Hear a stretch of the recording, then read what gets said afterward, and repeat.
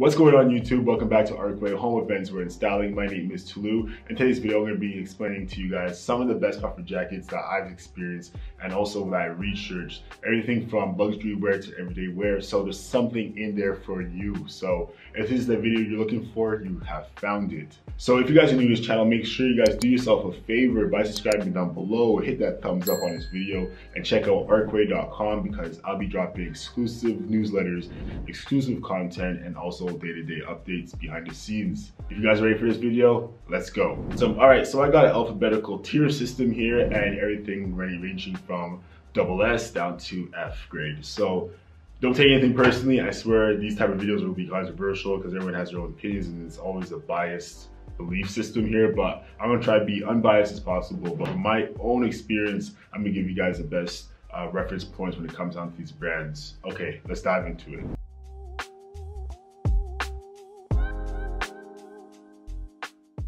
All right, so first company I want to talk about is Mango Men. So Mango comes from Spain. So what I like about Mango Men is that they have a Spanish take on fast fashion. So everything from H&M to Zara and so on, Banana Republic. So not only that being a fresh take, but they cater it to the audience of their demographic. So you're gonna experience places that are, have a lot more hotter climates, but at the same time, they do have stores globally, especially in Europe as well. So they cater out to the European audience as well. So if you're on a budget and you're looking for a quality puffer jacket, I recommend you guys check out Mango Men because they do have some phenomenal options. At the same time, they have different versions and styles that you guys can check out. So I'm gonna put Mango Men in the F category because we are on a seek to finding the best puffer jackets.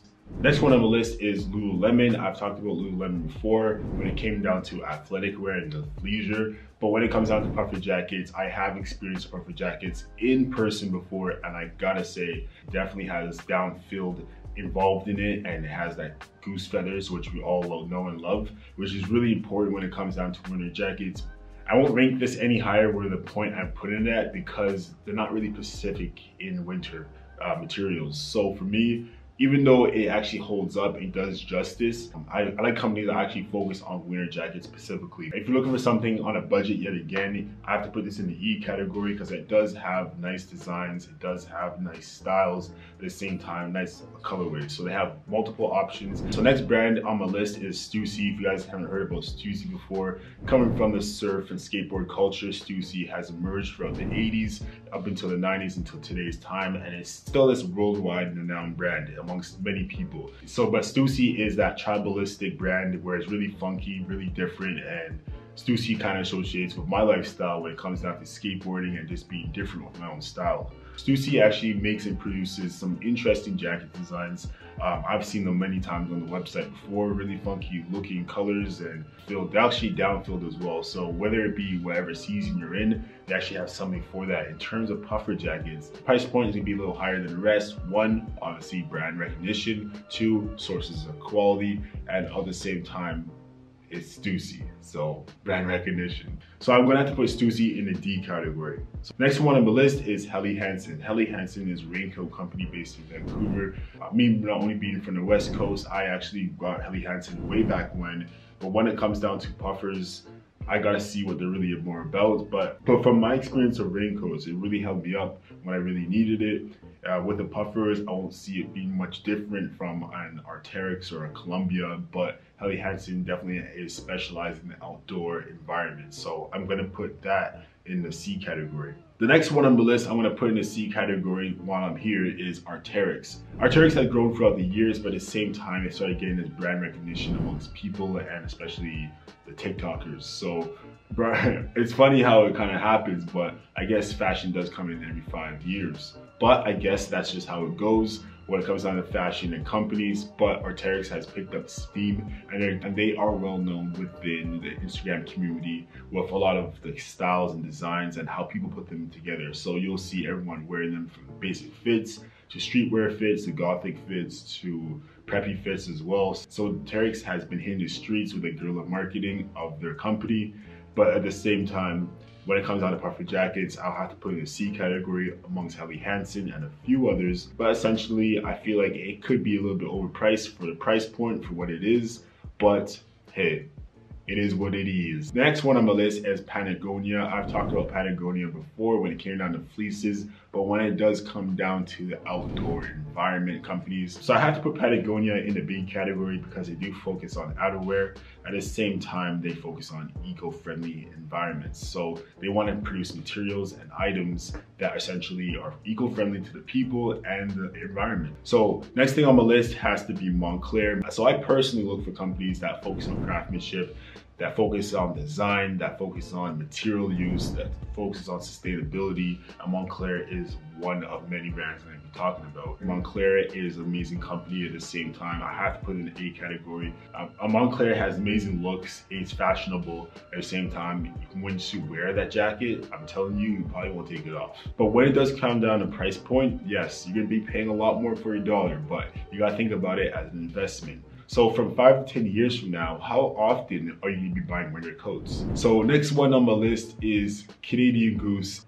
And it is known for this environment of being cold. We don't live in igloos out here, but Canadian Goose will definitely keep you warm and definitely has different various styles. So when it comes down to Canadian Goose, they have the regular label and they have the black label. I personally like the black label a lot, not only when it comes down to their superficial, not only when it comes down to their innovative designs, but the material they use for their products. When it comes down to goose down, goose feathers, and the products and how it's produced. Canadian Goose is that company. Canadian Goose is what a lot of people here know and love, and Canadian Goose is what you'll see every winter. So whether it be from the puffers to the winter coats, Canadian Goose is known for a reason and the price point is an expression of that. Not only an expression of status out here, but at the same time, it's gonna hold you down when it comes down to like negative 30 degrees. So you're looking for a company that will actually hold you down when it comes down to the freezing cold out here, Canadian Goose is that.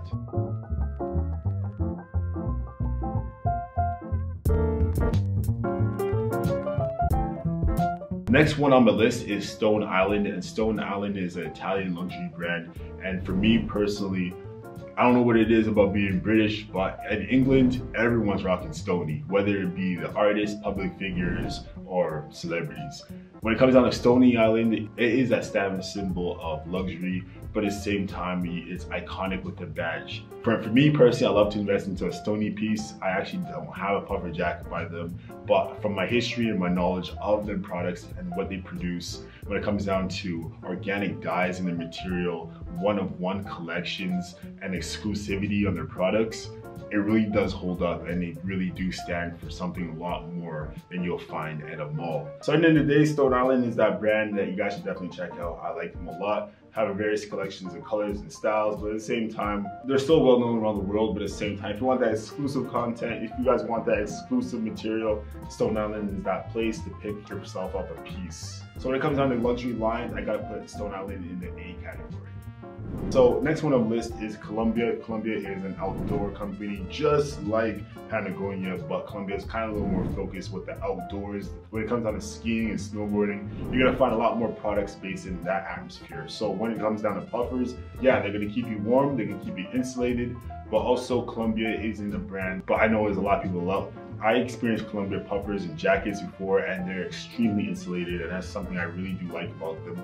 I like those brands where you don't have to wear like a long sleeve or a hoodie underneath, but you can just wear a simple t-shirt. Those are the brands that are top notch for me. So let me know if you guys experienced Columbia jackets before. Put your thoughts and comments in the comment section down below. Next one on the list is Acne Studio. They are coming out from Amsterdam. And when it comes down to this brand, they are really innovative. They are rebellious. They'll always go against the grain about fast fashion and culture. So they're kind of like the anti-culture company. But when it comes down to Acne Studio, I have tried out one of the puffers before, but it isn't really a practical jacket. But at the same time, when it comes down to design and like visuals, they are phenomenal when it comes down to that point. If you're looking for something that's a little more fashionable, you're a city goer like myself, and you just want to have something that's a name brand and you want something that's stylish, not many people have, Acne is that place for you. I tried an Acne jacket out in Holt Renfrew and it was amazing.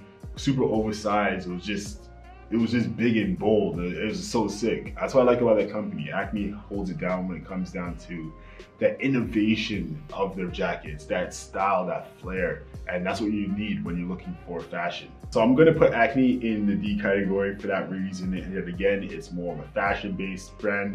The next company I wanna talk about is a company called This Is Never That. It's a new brand I actually found recently, but the cool thing about this brand is that they focus on the basic principles of what jackets or garments would need. So this is never that is an emerging company. I can't rank it too high because it's still evolving. If you guys haven't seen it like myself in some local areas in Toronto, they do have some in their retail stores of boutiques. So you can find them at Nomad, you can find them at Livestock, and even on the e-commerce, there's great designs, great styles, really, really cool patterns as well. So this is never that is that company. At the same time, they do have down filled. So yeah, it's gonna keep you warm, but also stylish. So that's on the verge of style and a little bit of warmth. So if you're a city goer like myself, the D category is for you, especially when it comes down to the designs. So next one on the list is Reigning Champs. They stem from Vancouver. I'm from the West Coast myself, so that hits close to home, but they do specialize in a lot of athleisure wear. But at the same time, I'm noticing the company expand their horizons into outerwear when it comes down to jackets and like hoodies and stuff like that. So what I want to put into the D category is Reigning Champs. So from that being said, spanning into like jackets, it's cool to see this brand emerging because I see a lot of potential in this brand and they are dope when it comes down to the essentials. So next one on the list is Uniqlo. Uniqlo is based from Japan. And the thing I like about Uniqlo is that they carry all the essential pieces that you personally would need. I get all my essentials from Uniqlo before. I've made numerous videos on Uniqlo when it came down to the smart pants, when it came down to jackets, even collaborations with White Mountaineering. If you're looking for something that has a little bit more quality for your money and actually has a lot more varieties. So Uniqlo is that place. It definitely has topped over H&M throughout the years, but Uniqlo has great options in terms of winter jackets. So I have to put Uniqlo in the E category and keep in mind guys, this does not mean this is the best, this is the worst. This is the terms and rankings, designs, and accessibility of these pieces. So I gotta put Uniqlo in the E category. The next one on the list is COS, well, essentially the big brother company of H&M. Uh, COS is more specifically designed with an innovative, minimalistic approach to a redefined H&M. So if you can imagine that, then you imagine COS. That's, a, that's essentially what it is. I've been in the store before, very, very minimal, not many things around, but when there are, there's a lot of it. And the cool thing about COS is that they are specifically focused on design and material. So you kind of get one of one pieces, especially when you start wearing them out. People gonna ask you about where have you gotten that piece. So I put that in the E category because I feel like that's where it rightfully belongs. Let me know you guys' thoughts and opinions on that. Now let's travel back to Spain. The next company I want to talk about is called Zara. Zara is known around the globe, but yet again, I want to talk about what they are and what they do and if the jackets are appropriate for you. So Zara is a fast fashion company. The thing with Zara is that it has amazing designs, it has amazing prints. Yet again, it's at mass production. So a lot of people will be wearing it amongst your environment, but at the same time, I believe it's a lot more better options than, for example, H&M. They have a lot more trendier items, a lot more trendier styles, a lot more influence within the European culture, at the same time as South American culture. So you can definitely find a lot of interesting, innovative pieces.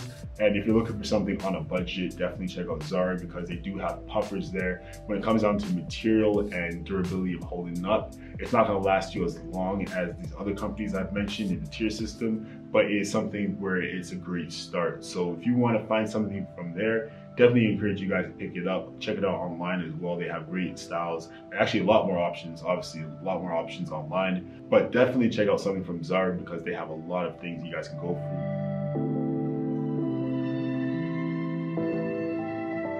So next one on the list is a Montreal-based brand and it is called Rudsak. I actually been to the store before in Square One and it was amazing. Like the materials, I'm not sure if it's still there, but I, from my experience from being there, putting on a jacket, I'm telling you, it feels like you're in a balloon. Like you're really just insulated like this. You're just like, like, wow, this is actually quite warm and it's quite fulfilling. The innovations of the design is always like far out there. It just it just makes sense for what it is. So when it comes down to the designs and patterns, black is like their foundation color and they basically expand everything from there. So the rebellious nature of the fur, the lavish oversize of the coat, um, the insulation of how it keeps you warm is super, super cool. I gotta put that in the A category because I believe it's top tier amongst the rest and that's something that you guys can check out. And alongside Rudsak, I gotta put Woolrich. Woolrich is a brand from Pennsylvania and they focus on the hardy American you know, American wool. They really focus on their materials and they really care about the long longevity.